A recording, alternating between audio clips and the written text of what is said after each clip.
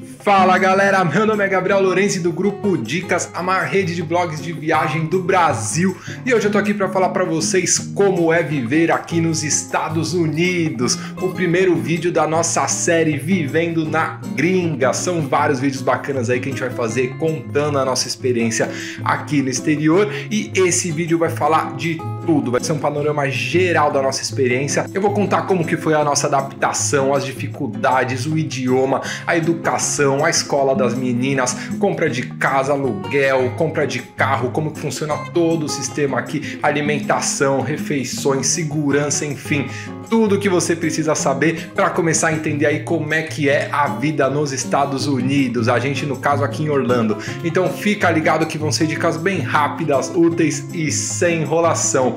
Dá aquela curtida aqui no vídeo, se inscreve no nosso canal que ajuda a gente de verdade mesmo e bora lá.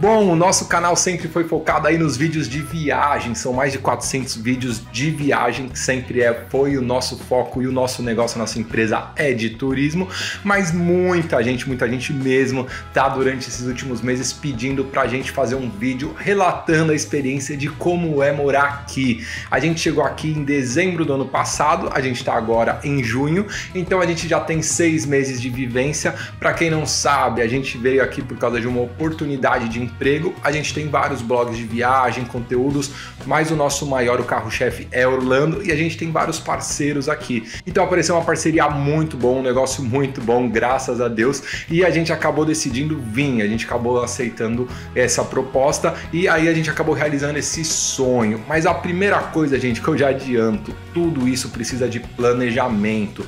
Não assistam o vídeo, se empolguem ou vejam outros conteúdos na internet e falem, nossa, preciso ir para lá, preciso ir para os Estados Unidos vou vender tudo e vou me mandar. Não, é um processo muito demorado, porque você tem que se planejar, você tem que entender como você vai vir, você precisa da assessoria de alguém especializado, um escritório de advocacia, de imigração, uma empresa que vai te auxiliar qual é o melhor visto, como você pode vir de uma forma legal, não vai fazer besteira e vir como algumas pessoas arriscam que, gente, não vale a pena. É um processo demorado. A gente há anos e anos, já faz uns 7, 8 anos que o nosso sonho é vir morar aqui em Orlando, né, nos Estados Unidos, mas nos últimos dois, três anos a gente começou a pôr em ação esses planos, então foram uns dois anos de planejamento mesmo, de começar a ver tudo, organizar. Então essa é a palavra, paciência e planejamento. Então vai com calma, começa a pesquisar se essa é a sua vontade, mas não faz as coisas muito rápidas e muito de forma errada, porque você pode se complicar. Então vai com calma que no fim tudo dá certo. E esse é o primeiro vídeo, a gente vai falar de uma forma geral aí de tudo que a gente já percebeu de como é viver e morar aqui nos Estados Unidos. É bem legal que é um vídeo bem uma introdução ao assunto. A gente vai falar de tudo aqui, de todos os itens, quanto custa, custo de vida, como foi a adaptação, tudo, tudo de uma forma bem bacana. E a gente vai fazer uma série, vão ter vários vídeos agora. O próximo é muito legal, que vai ser o custo de vida nos Estados Unidos, que aí vai dar para saber quanto custa cada coisa, quanto você precisa para morar aqui. E a gente vai fazendo vários outros vídeos. É uma nova série que a gente vai chamar aqui no nosso canal, que chama Vivendo na Gringa. Então sempre que você quiser ver um vídeo sobre essa experiência nossa de morar aqui, você você ou clica na playlist, que a gente vai deixar aqui do lado uma playlist só com esses vídeos, ou você joga no YouTube as siglas VNG, de Vivendo na Gringa, e Gabriel Lorenzi. Vai aparecer todos os vídeos já com esse assunto.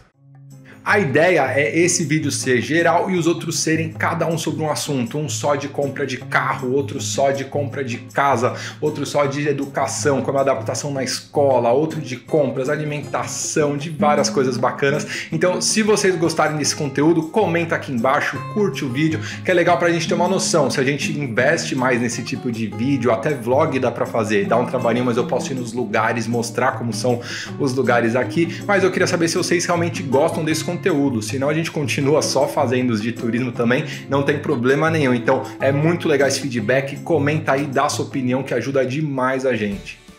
Bom, então começando, eu tô aqui no estúdio, essa é a nossa casa aqui em Orlando. A gente acabou montando o estúdio aqui, tá muito mais fácil de gravar, é, ficou muito mais fácil esse processo das gravações. E eu vou mostrar tudo daqui do estúdio, mas pode ficar tranquilo que aqui do lado a gente vai botar muitos vídeos que nem vocês já estão vendo e fotos ilustrando o dia a dia e cada situação. Porque no Instagram a gente posta muito, a gente posta todo o nosso dia a dia, então tem muito conteúdo. Eu peguei tudo do Instagram e a gente vai colocar aqui do do lado para você tendo essa noção. Se você quiser acompanhar de perto, segue a gente lá que a gente está postando tudo o tempo todo de como é a vida aqui e muito mais conteúdo bacana, engraçado, com a Clarinha, com a Laurinha, que são nossas filhas que são baratas. Então dá uma olhada lá que tem muita coisa legal no Pai Lorenzi e no Lívia de Lorenzi também. Então, começando a história, rapidinho, só para resumir, a gente chegou em dezembro do ano passado, a gente veio no meio da pandemia, a gente ficou 15 dias no México, viemos com os nossos dois cachorros, a gente tem dois chihuahuas, vocês estão vendo aí na foto a loucura que foi no aeroporto, no avião. A gente veio com a Clarinha, que é nossa filha que tem quase 4 anos, e a Lívia veio grávida, ali ela estava grávida, agora já existe a Laurinha, que é essa coisa linda que vocês estão vendo aqui no vídeo. Então a gente veio com a família toda, foi uma aventura, a gente meio que arriscou, entre aspas, aspas, com consciência, com planejamento, mas a gente foi uma decisão difícil, a gente acabou tomando porque a gente achou que era o melhor para nossa família e sendo muito sincero, gente, a experiência está sendo sensacional. Tirando o problema da saudade dos familiares, da distância, que é muito difícil, alguns problemas que tiveram, foi difícil mesmo, mas a parte de adaptação, de morar do lugar, a gente está realmente encantado com os Estados Unidos, surpreendeu as expectativas e eu juro que eu fico sempre tentando pegar coisas negativas para não parecer essas pessoas que só falam bem, sabe? Ah, aqui é tudo mil maravilhas, aqui é ótimo, mas é muito difícil, eu não consigo achar. Eu acho que quando a gente faz um vídeo desse tipo, envolve muito sonho, envolve uma. Você tem que ter uma seriedade, uma sinceridade. Então eu vou dar aqui minhas opiniões 100% sinceras e transparentes, tá? Não levando em conta a opinião das pessoas, julgamento. Eu vou realmente falar o que eu senti nesses seis meses morando aqui em relação à minha vida inteira que eu morei no Brasil. Eu nasci e cresci em São Paulo durante 33 anos, então eu vou fazer essa opinião muito sincera para tentar ajudar ao máximo aí as pessoas que têm esse sonho ou essa curiosidade. A primeira coisa é a adaptação. Todo mundo pergunta como é que foi para se adaptar aí, para falar inglês nos lugares. É muito difícil. Aqui em Orlando foi muito fácil, mas muito fácil mesmo. E o motivo é, tem milhares de brasileiros. É um lugar que tem muito mesmo. Quando a gente fala, a gente, as pessoas falavam isso pra gente, a gente não tinha muito essa noção, mas tem brasileiro em tudo quanto é canto. Aqui no condomínio de casas que a gente tá, devem ter umas 400 casas. A gente tem um grupo de WhatsApp que tem 200 brasileiros que fazem parte do condomínio. É um grupo de brasileiros do condomínio. Então é uma quantidade absurda. Isso facilitou muito porque os brasileiros recebem os brasileiros de uma forma mais amigável. Tudo que a gente precisava, restaurante, comida, jardineiro, piscineiro, manutenção, coisa elétrica, tudo, tudo, tudo de serviço tem já brasileiros que fazem. Então isso facilitou muito a nossa vida. Mas isso falando aqui em Orlando, tá, gente? Nos outros lugares dos Estados Unidos é bem diferente. Então isso é a primeira coisa que você tem que levar em consideração. Qual cidade cidade você vai viver. Tem muito brasileiro indo para Boston, que fica em Massachusetts, New York, que é pertinho ali de New York. Então, tem lugares que já tem uma comunidade brasileira muito grande, isso facilita muito a adaptação, muito mesmo. Se você for para outros lugares que tem a qualidade de vida muito boa, mas tem pouco brasileiro, você vai sofrer um pouquinho mais com essa adaptação, porque o americano é realmente um pouquinho diferente. Não são nada do lado ruim, tá? Mas é que eles são um pouco mais secos, não tem esse calor nosso, né? Essa emoção, essa coisa que o Brasil brasileiro tem. Então a adaptação é mais difícil. Mas aqui em Orlando, Miami, pelo que a gente ouve, né? Boston, até a Califórnia, é muito tranquilo, foi muito fácil de se adaptar mesmo.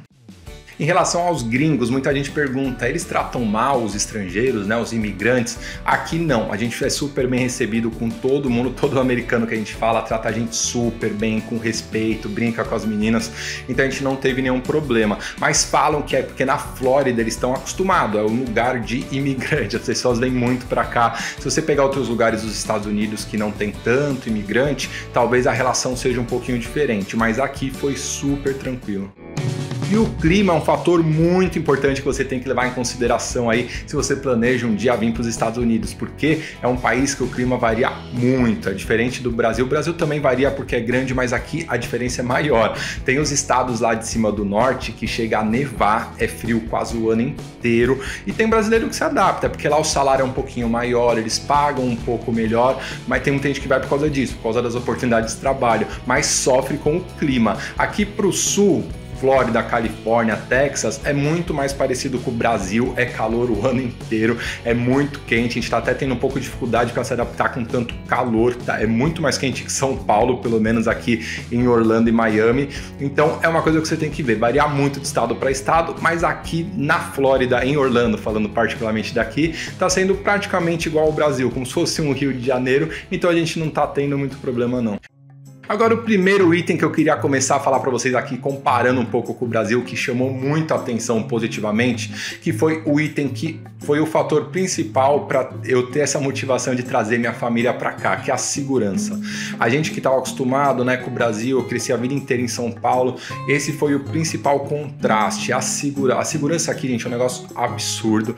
Você até estranha no começo. A nossa casa aqui, todas as casas, não existe portão, não existe muro. A porta que você abre, você está na rua, é rua já direto. Isso causa uma certa estranheza, né? Quando a gente chegou, ficava meio desconfiado. A janela aqui do lado da porta, ela tem uma cortina transparente. Eu venho à noite beber água na cozinha, alguma coisa, eu olho, passa carro, passa tudo. No começo eu ficava até aquele alerta, sabe? Que a gente tá acostumado de ver o que, que tá acontecendo, o que, que é dentro de casa. Aí depois você começa a se acostumar, mas a segurança aqui é sensacional. Tem muita polícia, você vê carro de polícia em todos os lugares. A polícia é super bem preparada super bem paga, isso é bacana. Eles têm um baita patriotismo mesmo com os policiais, eles são muito respeitosos, as, as pessoas têm esse respeito policial. O policial tem um carinho pela sua carreira porque é muito bem reconhecido. Eles têm um reconhecimento muito forte com a polícia aqui. Então você vê todo, toda escola tem um carro de polícia, uma viatura que fica rondando durante o dia inteiro. Então passa uma segurança muito grande. Uma coisa que a gente está sentindo a diferença é poder andar na rua à noite. A gente não tinha essa tranquilidade de andar com um carrinho de bebê, com as crianças, com bolsa, com carteira, arrumada às vezes para ir num restaurante, na rua. Lá em São Paulo, pelo menos, sendo muito sincero, gente, não rolava. A gente tinha aqui sempre preocupado, rápido, se é perto, vai de carro. Aqui não, aqui você consegue andar, você consegue curtir um pouco mais essa vida ao ar livre com mais segurança. E os pertences é uma coisa que chama atenção, vou até deixar aqui para vocês verem, eu até fiz os stories lá no Instagram. Na academia, por exemplo, o armário é tudo aberto e você deixa tudo lá. As pessoas deixam celular, chave de carro, carteira, tudo à mostra, tudo aberto. E lá no Brasil, não, eu tava acostumado com na Ritmo, que é uma academia boa, né? Tinha armário, locker, tinha que levar o cadeado, e mesmo com o cadeado teve os casos de roubo. Então é uma diferença grande que você começa a acostumar, uma diferença boa, né? Mas no começo a gente vem meio com o pé atrás, mas depois você começa a entender que é lógico que tem as coisas, tem assalto, tem problema assim como todo lugar. Tem lugares que tem mais, menos. A Flórida, no geral, é um lugar muito seguro, principalmente Orlando. Miami é um pouquinho menos seguro, mas ainda é seguro. Mas mas Orlando é um lugar muito seguro, então foi um dos motivos que fez a gente escolher aqui. Uma coisa engraçada, vou até tentar pegar o story e deixar aqui para vocês verem, as compras também. Isso estranhou muito no começo. Você faz uma compra na internet, que é muito comum aqui no Amazon, em qualquer outro site, às vezes de coisa cara. Você compra um notebook, vai, de mil dólares. Ele chega, eles deixam tudo na frente da sua porta. Não existe lugar para eles entregarem, nada. Eles chegam, deixam. Aí uma hora do dia você vai abrir a porta e fala, ah, chegou minha compra. Então a gente estranhou na coisa. Falei, meu, como é que o negócio tá na rua? Vamos pegar, pelo amor de Deus. Aí todo dia eu ficava olhando para ver se chegava a minha compra ou não. Aí Aí depois a gente foi acostumando e vendo que é normal, que ninguém pega, mas é uma coisa que chamou muita atenção. Agora falando do custo de vida, que todo mundo pergunta, o próximo vídeo vai ser um vídeo só de custo de vida, tá gente? Eu vou pôr todos os valores de tudo, conta de água, luz, carro, gasolina, moradia, tudo para vocês terem uma noção do custo de vida nos Estados Unidos. Mas falando num panorama geral, o custo de vida é menor, você gasta menos para viver bem, então você acaba... O legal é que a maioria das pessoas, quase todas, né, tem muito mais acesso à educação boa, as escolas que são ótimas aqui, são tudo nota A, a menos, que são muito boas, pelo menos aqui em Orlando. Todas as pessoas conseguem ter uma educação boa para seus filhos, porque a escola é gratuita. A partir dos 5 anos até a faculdade, você não paga nada, então todo mundo por mais dificuldade financeira que tenha, os filhos têm uma educação boa, todo mundo consegue ter uma casinha legal porque é mais barato, o financiamento é acessível, os juros são baixos, todo mundo tem um carro. Aqui em Orlando, pelo menos, precisa de carro porque é tudo meio distante. É como se fosse uma cidade um pouco do interior, vai, para assimilar um pouquinho como funciona. E todo mundo tem o seu carrinho, não importa o emprego da pessoa, ela tem lá sua casinha, seu carro, seus filhos estudando, e isso já é sensacional. Isso vai um pouco para a questão da segurança, né? Por isso que tem muito menos assalto, violência, porque as pessoas acabam não precisando tanto por necessidade ir para esses outros caminhos. Então, isso é uma coisa muito bacana de acompanhar aqui, independente do emprego que a pessoa tenha, se ela é trabalhadora, se ela, ela consegue ter uma vida bacana aí para sua família. A saúde é um item, um dos únicos aí que a gente viu que ele é caro. A saúde aqui é cara, então você vê que as pessoas não utilizam muito. A gente vai falar um pouquinho mais da saúde aí mais para frente, mas é um item que é um pouquinho caro e um pouco mais inacessível para as pessoas. Eles estão tentando mudar isso, liberando um pouco o acesso gratuito aí para as pessoas que não têm condição, mas ainda é um item que eles precisam arrumar um pouquinho aqui. E agora, para explicar um pouco mais do custo de vida, a gente vai começar a falar um pouco de valores, mas para entender logo do começo, para deixar bem claro um item importante. Quando eu falar aqui de um valor em dólar, você não pode fazer a conversão, tá? Se eu falar, por exemplo, ah, a conta de luz aqui é 150 dólares, você não pode pensar, ah, mas então vai sair 700 reais, tá louco, é muito caro. Não, porque aqui as pessoas ganham em dólar. Quando você vem a turismo, tudo bem, você tá com o seu dinheiro em real, você precisa converter, aí você faz a conversão. Mas quando você vive aqui, você vai ganhar em dólar, então você vai pagar em dólar. Então, para a gente que está aqui ganhando em dólar, a gente trabalha aqui, uma conta de 150 dólares é exatamente igual você pagar 150 reais numa conta. Então, só para vocês terem essa noção e não fazer a conversão, tá? 20 dólares é como se fosse 20 reais para quem vive no Brasil. Essa é a lógica certinha para você conseguir entender mais ou menos como é que funciona.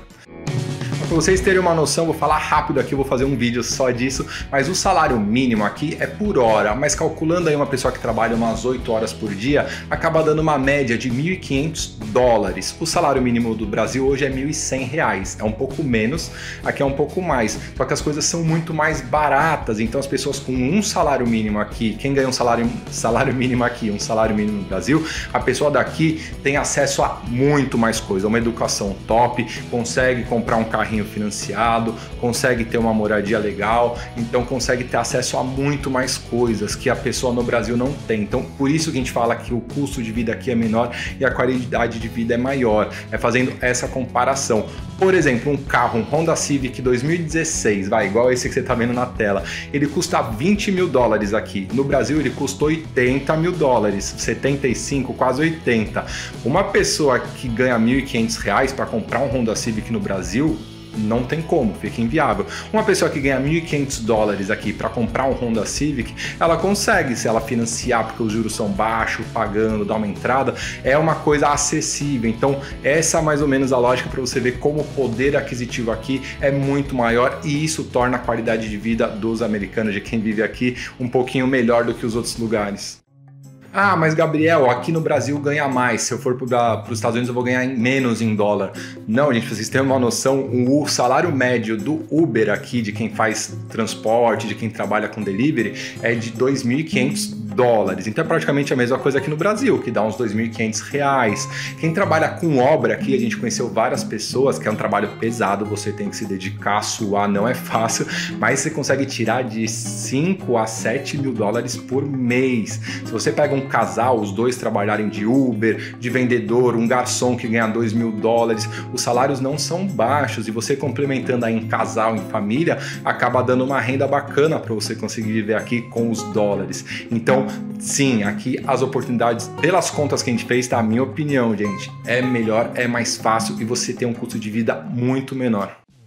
Agora vamos falar da educação. A gente só tá com um pouco mais de experiência na educação da Clarinha, né? Ela tem quatro anos, agora vai fazer quatro. Então é assim que funciona. Aqui nos Estados Unidos, a partir dos cinco anos, você não paga escola. Você tem tudo de graça. Até o transporte, o ônibus escolar, aquele amarelinho que a gente vê nos filmes, é gratuito. Uniforme, tudo, tudo que você precisar da escola é gratuito. Uma escola muito boa. Tem raros americanos que, quando tem muita grana, que quer colocar naquelas escolas que são top, top, top, aí eles pagam.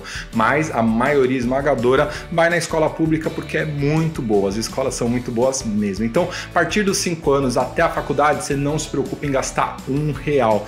Gente, isso é uma coisa absurda. A gente que pagava escolinha para Clarinha no Brasil sabe o custo que é uma escola hoje. Então, essa é uma das principais diferenças aí no orçamento. Quando você planeja uma mudança dessa, se você tem filhos, já corta essa grana que é uma grana alta de escolas, isso já dá um baita de um alívio. Até os 5 anos você tem que pagar. A gente está pagando, a gente colocou a Clarinha numa escolinha para ela já começar a se adaptar, uma escolinha americana mesmo. Ela está se adaptando super bem e você tem que pagar. É um pouquinho, é o mesmo preço do Brasil, mais ou menos, né? De dólar para real, a gente está achando o mesmo custo. Até os 5 anos, aí depois a gente para de pagar, mas a gente está pagando e está sendo muito bom para ela. Uma coisa que a gente viu logo do começo, que é um ponto vai negativo, vamos encarar assim, que é a questão que eles são muito mais frios. Os americanos, eles não têm esse calor, essa emoção dos brasileiros. A Clarinha lá na escola do Brasil, a gente conhecia todo mundo, chegava lá, ficava conversando, elas abraçavam a Clarinha, mandava recado, a gente conhecia todo mundo na escolinha. Você tem essa emoção, essa proximidade. Aqui não, a gente chegou lá, fez a matrícula, primeiro dia de aula, ah, vem aqui, pronto. A gente foi achando que ia entrar, né? Ia ficar com ela, fazer uma adaptação. Nada, desce do carro, você leva ela lá na porta porta, você não entra, os pais não entram na escola. Tem a pessoa, lógico, que recepciona, que registra a criança com todo o cuidado, mas aí a criança entra, vai para a sala e acabou. Aí você fica só do lado de fora torcendo, vendo torcendo para ela se adaptar. A gente passou um pouquinho de aperto nesse começo por causa disso, por ela, né? Pensando, meu Deus, como é que ela tá? Será que ela tá conseguindo se virar em inglês? Como é que ela vai pedir para ir no banheiro? Como é que ela vai falar se ela tiver com sede? Como ela vai falar com os amiguinhos? E na sala dela só tem uma brasileira, o resto é tudo americano ou de outras nacionalidades, que tem bastante gente aqui. Tem muito indiano, árabe, latino, tem muito. Então é legal que ela se virou. A gente sofreu um pouco, a gente fica acompanhando na câmera. Tem um aplicativo muito bacana que é esse que você tá vendo as fotos fotinhos aqui. Durante o dia todo eles mandam o que, que a criança está aprendendo, o que, que ela está fazendo, mandam fotos, então a gente consegue acompanhar isso acabou dando uma tranquilidade. Mas ó, foi muito rápido. Em um, dois, no primeiro mês a gente viu pela câmera que ela ficava um pouquinho de lado, não conseguia se enturmar muito, mas agora passou dois, três meses, ela já brinca com todo mundo, tá nas fotos, a gente vê que ela já tá super adaptada. Então foi muito bom para ela como criança, né? Para ela aprender e se preparar para quando tiver os cinco anos entrar no high school, que é a escola mesmo, que aí é um pouquinho mais puxado, um pouquinho mais sério. Outra curiosidade da educação, aqui o ano letivo ele começa em agosto e ele termina em maio. É diferente do Brasil que é de janeiro a dezembro. Então, uma criança que vai começar a primeira série, ela começa a estudar em agosto. Então, tem as chamadas férias de verão, que a gente está agora nas férias de verão, que duram três meses. É um período muito grande. Então, eles dividem é junho, julho e agosto. Então, os pais têm que se preparar porque esses três meses as crianças ficam em casa. Tem muita gente que a gente conversa aqui brasileiro que às vezes não tem né, a condição de deixar com uma babá com alguém que tem que se virar nos 30 para conseguir trabalhar durante esses três meses. A gente optou por continuar pagando a escolinha Clarinha, continuar lá. Eles oferecem um curso de férias, ela vai sem roupinha mesmo e brinca, é mais atividade de brincar, jogar bola, andar de bicicleta, tem brincadeira aquática. Então tá sendo muito legal para ela e a gente tá conseguindo trabalhar e tocar a vida normal. Mas tem esses três meses no meio do ano. No final do ano tem uma férias só, que é a última semana do ano, que é o Natal e o Ano Novo. E, gente, qualquer dúvida que vocês tiverem, curiosidade, pode mandar que a gente responde com o maior prazer. É muito mais fácil, manda lá, me adiciona no Instagram, no arroba pailorenzi, manda um direct com qualquer dúvida e aproveita para seguir a gente lá. Aqui no Instagram a gente consegue mostrar muito mais como é o nosso dia a dia, a gente posta tudo aqui, então você consegue, você acompanhando por lá, você consegue já ter essa sensação de como que é a vida aqui, olhar as coisas de uma forma um pouco mais espontâneas e mais diárias da nossa rotina.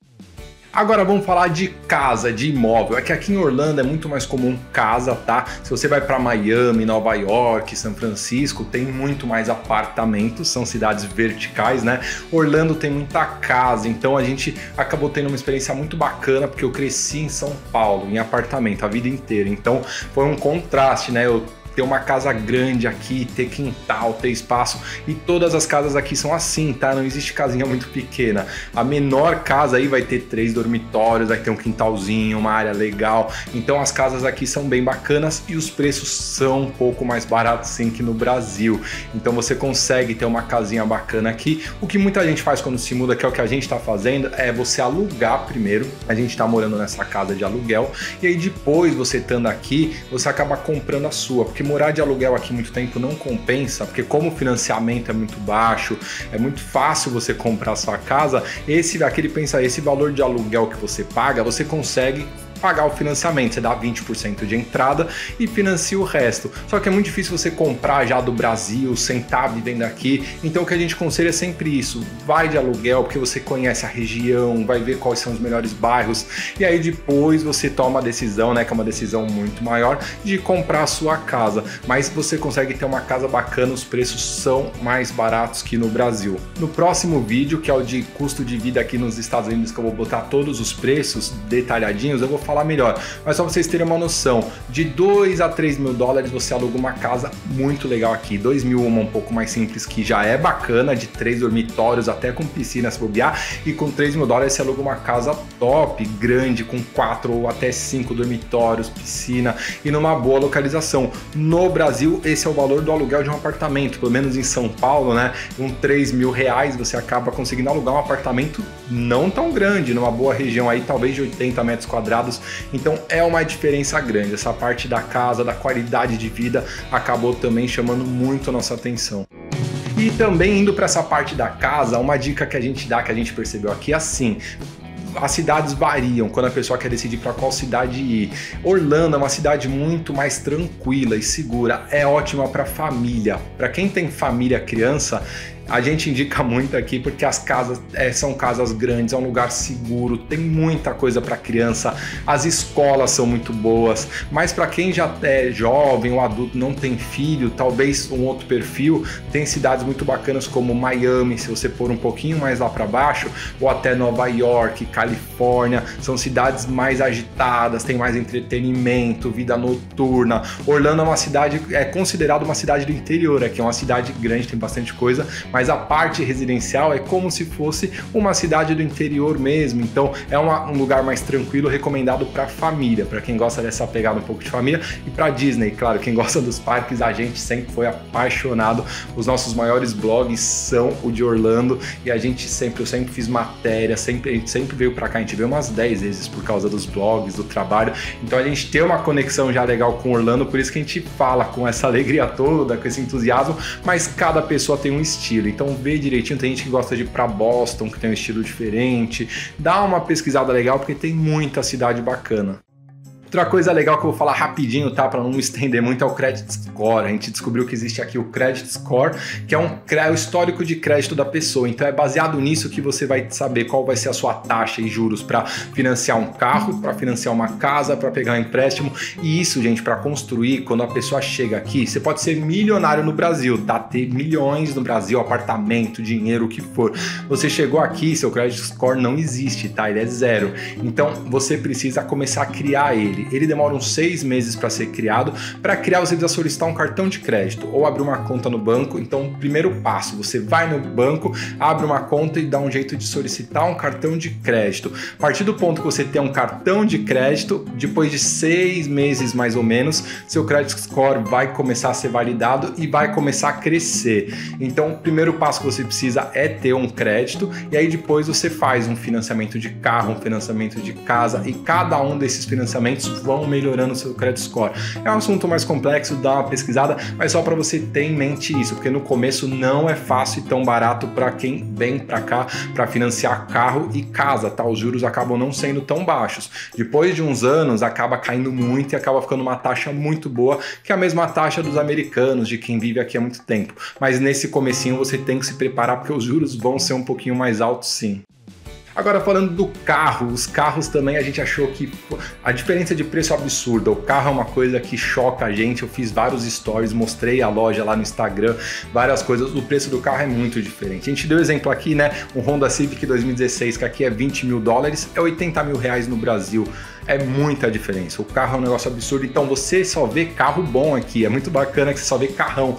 É muito comum, muito mesmo. É normal você ver Porsche, é, Range Rover, ver Mercedes, BMW, todo mundo tem. É que nem você ter Chevrolet, Ford. Os carros são meio nivelados porque não existe essa diferença exorbitante aí que tem no Brasil. Então isso é muito bacana. Você vê que todo mundo tem um carro bom, um carro legal aqui. Para quem gosta de carro, você consegue ter aqueles carros esportivos. Você vê às vezes esses carrões esportivos aqui, você chama atenção, mas depois você começa a se acostumar. No primeiro mês eu ficava que nem tonto, né? Li, olha aquele carro, nossa, olha essa Mercedes, olha essa.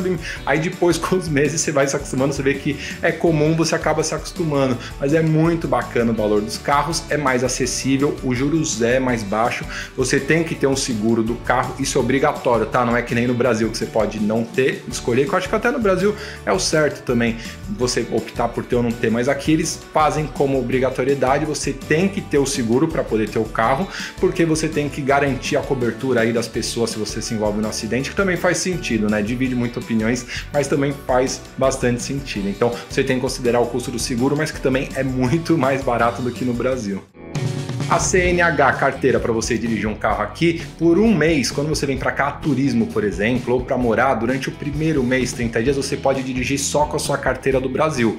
Você tem na carteira do Brasil válida, tá tranquilo. Agora, para ficar mais tempo, o que eu tive que fazer, por exemplo, foi solicitar uma carteira. Eu tive que tirar a carteira de motorista da Flórida. Cada estado tem suas regras.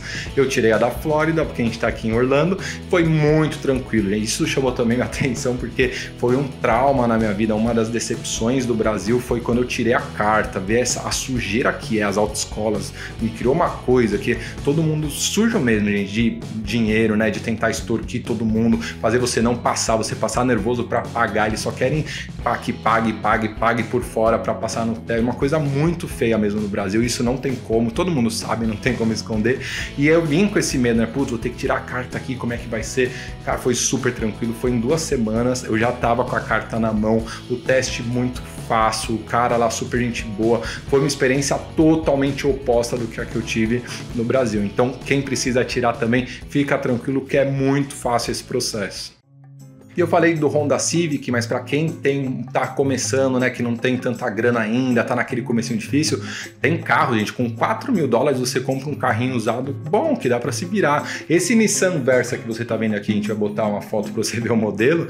O Nissan Versa 2015, ele tá em torno de 10 mil dólares. Então, 10 mil dólares você já consegue comprar um carrinho bacana, se locomover. Então, não é caro. E tem carros muito mais baratos também se você pegar carros mais antigos.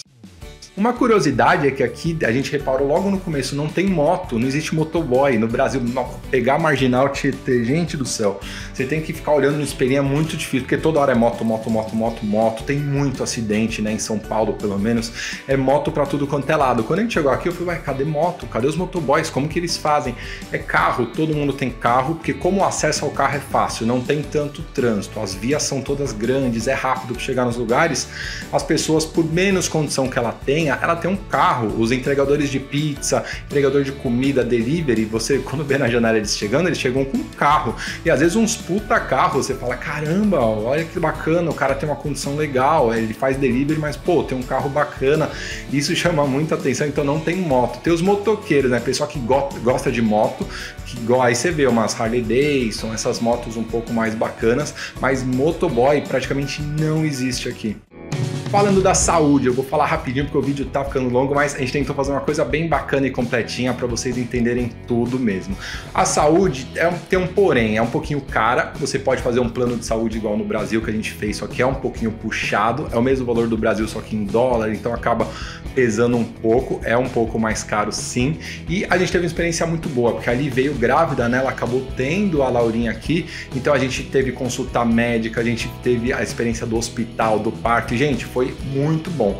A diferença é que eles são muito mais frios e práticos, tá? A gente numa consulta com a nossa ginecologista obstetra lá do Brasil, a gente ficava duas horas, eu já cheguei a ficar duas horas na sala com a Liv em consulta e era de 15 em 15 dias, às vezes duas em duas semanas, é, duas em duas semanas, 15 em 15 dias, era muita consulta e você fica muito tempo, conversa de tudo, fala da dieta, como que tá a mãe, o pai, aquela coisa de brasileiro mesmo, a gente criou uma amizade muito grande com a doutora André, ideia, então você tem aquele envolvimento. Quando chega aqui, é outro esquema, são 15 minutos a consulta e é de um em um mês, então o acompanhamento é muito mais prático, sabe? Se você só vai no médico mesmo se você precisa, eles só vão te analisar, pedir exame se você tá doente, você tá passando mal. Não existe essa coisa do Brasil, desse tratamento, de fazer várias imagens. Ultrassom a gente fez só dois aqui.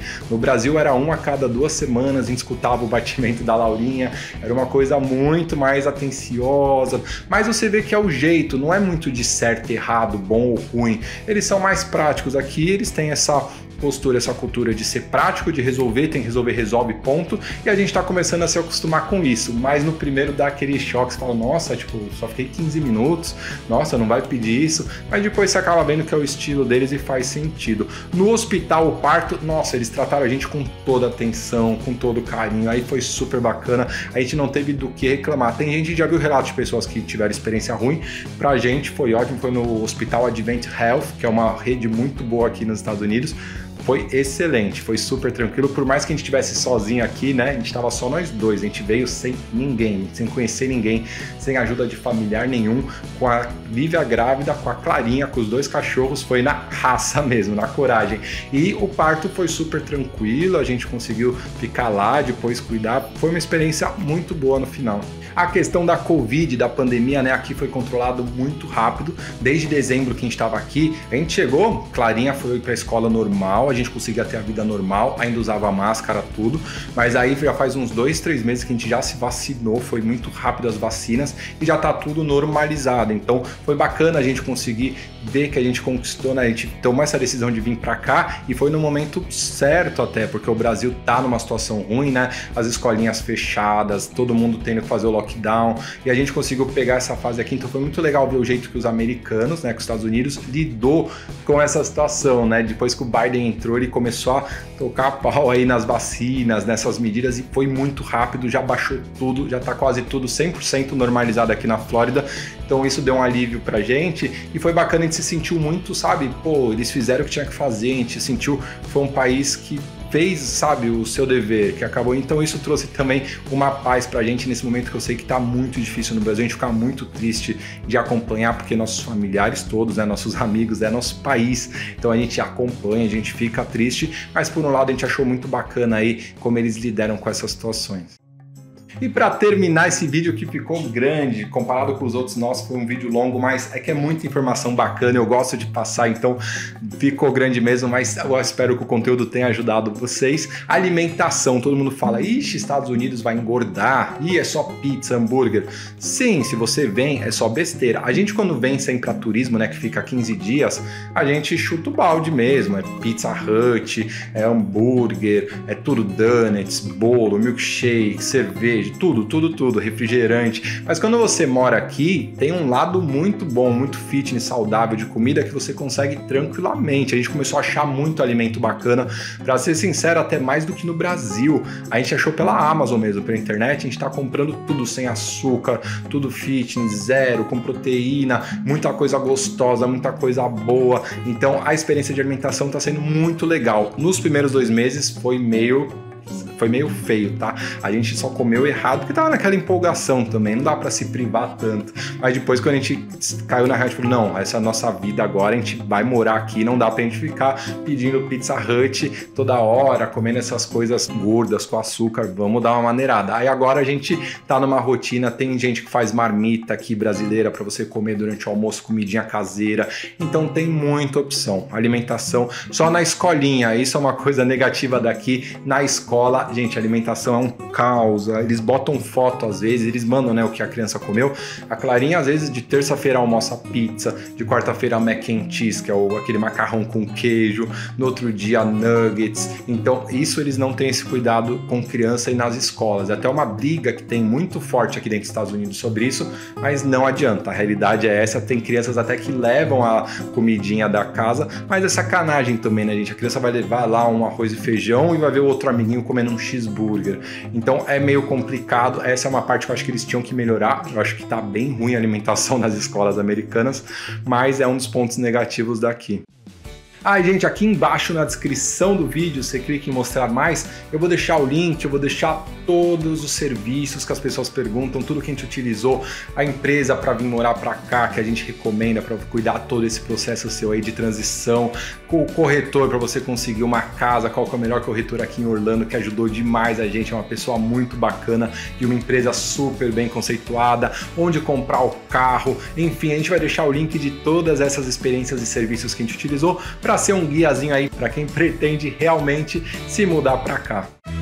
E é isso, galera. Desculpa aí o vídeo longo, é que é muita informação. Eu fiquei muito empolgado para fazer esse vídeo, na verdade, que é um assunto muito gostoso de compartilhar. Eu sei o quanto é importante para as pessoas, né? Tem muita gente que sonha igual a gente. Eu via também vídeo, ficava lendo. Então eu sei o quanto isso é importante. Então eu tentei falar o máximo possível de informação, ser o mais transparente possível, tá? Tem muita gente que não vai concordar comigo, que vão julgar diferente. É opinião, essa que eu passei para vocês foi minha opinião sinceraça mesmo, de coração mesmo, que, que a gente sentiu, qual que a gente sente. Tem gente que vai achar outras coisas, isso é natural do ser humano. E essa série vai ser muito bacana, eu vou fazer vários outros vídeos, então fica ligado aí, se inscreve, ativa o sininho, porque a hora que você vê vídeos com a hashtag do VNG, que é o Vivendo na Gringa é esse novo quadro aqui que a gente criou para mostrar as nossas experiências por aqui. E não deixe de assistir o próximo vídeo que vai ser o custo de vida nos Estados Unidos. Assim que ele estiver pronto, eu vou deixar ele aqui do lado, junto com a playlist que tem todos os outros vídeos dessa série das experiências nos Estados Unidos, de como é viver nos Estados Unidos, para você assistir.